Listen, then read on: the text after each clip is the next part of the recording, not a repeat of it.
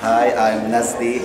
This training was one of the most amazing um, training I've ever had because I learned a lot from this training and it's my passion to travel and I think I was given a chance to earn while doing the thing I love.